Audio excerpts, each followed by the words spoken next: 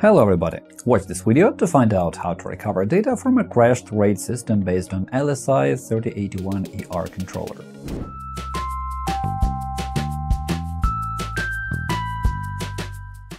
As we know, the controller is an important part of any RAID system since it's in charge of managing your data and ensuring its safety. This controller module supports the SAS interface, 8 ports to connect hard disks, and is capable of handling various RAID levels including RAID 0, RAID 1, RAID 5, 6, and others. This allows you to create effective and reliable data storage arrays. RAID is a technology making it possible to unite several physical disks into a single logical data storage. It provides improved reliability and, depending on the specific level, better performance or data recovery options in case of a failure. However, in spite of all these advantages, you may sometimes encounter situations when some data needs to be recovered from a RAID system. This might happen after a hardware failure, wrong configuration or other issues. In today's video, we'll show you how to recover data from a RAID system if its controller LSI 3081ER is out of order. If your RAID is still operable, it is very important to back up all of its files before you start data recovery operations. Such backup files will help you preserve the information if the recovery goes wrong or some other problems arise.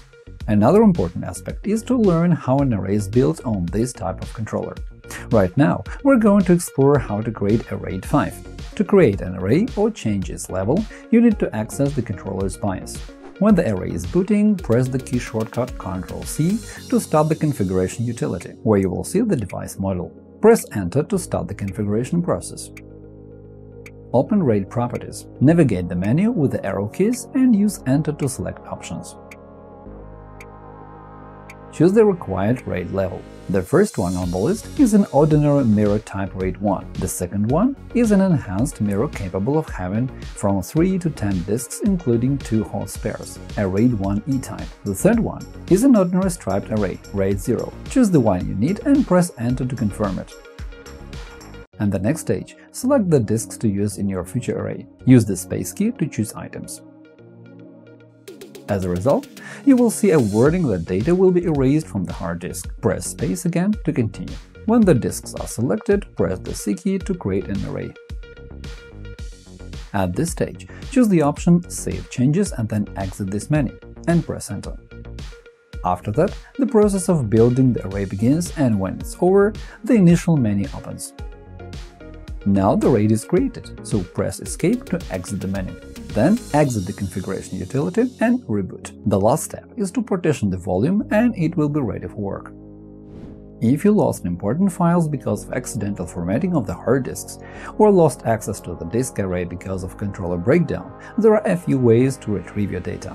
The first data recovery method to use if the controller is dead is to connect the disks to a properly working storage device. For this method, you will need one more controller of the same model or a compatible one which enables you to import the previously existing RAID configuration. First of all, explore this aspect and make sure that this operation is safe for your data. Otherwise, wrong actions may erase the disk completely, along with your precious files. Visit our channel for a detailed video tutorial about transferring hard disks to a new computer. Find the link in the description below. The second method, which can also help if some files are deleted by mistake, is to use a specialized data recovery tool for RAID systems. Hetman RAID Recover is one of such apps. It supports all popular RAID types, most file systems, and various array patterns used by numerous RAID controllers.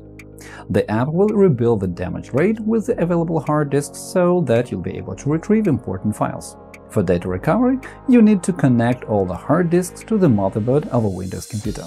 If your motherboard has less SATA ports or power connectors than necessary, you can exclude one or several hard disks from the array if your RAID level can tolerate. Otherwise, use additional adapters and expansion cards, like the ones shown on the screen. In my case, the utility displays a volume with RAID 0. Right-click on the volume and choose Properties to view detailed information about this array. In the RAID tab, you can see the number of disks it includes.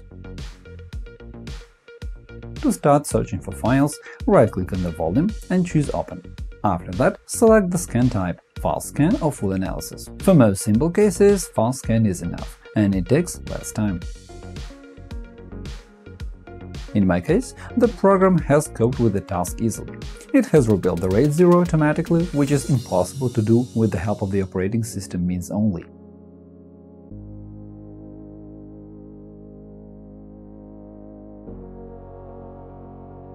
In the disk management window, the disks of such RAID will be displayed as unidentified or have the raw status. As it appears, you can't retrieve the data without using specialized tools.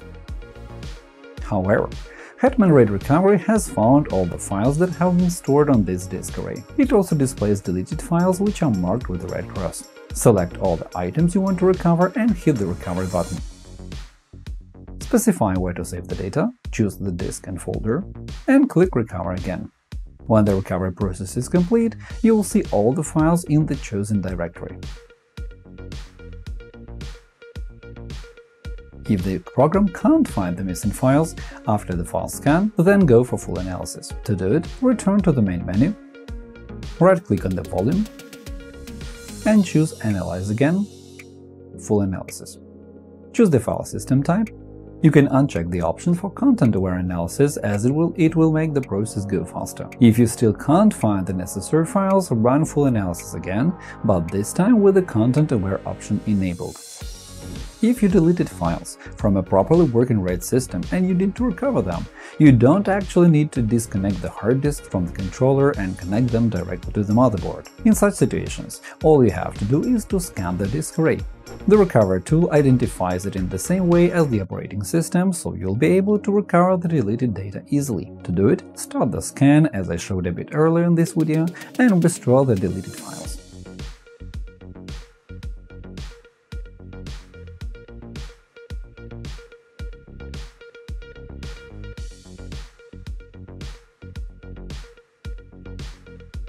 If the controller with a mirror RAID breaks down. In some cases, you can even fix this problem without using third-party recovery software. When the disks used in the RAID array are connected, the operating system may recognize them automatically. If this is your case, all you have to do is to identify them in the disk management window, open the volume, and copy the files to another disk. However, this method can only help if, you, if the RAID was built with a small number of disks. If this method doesn't work in your case, connect the disk directly to the computer's motherboard and search for files with Hetman RAID recovery. Just like with any other RAID type, the program will rebuild the array automatically and display it on the list of available disks. Scan it,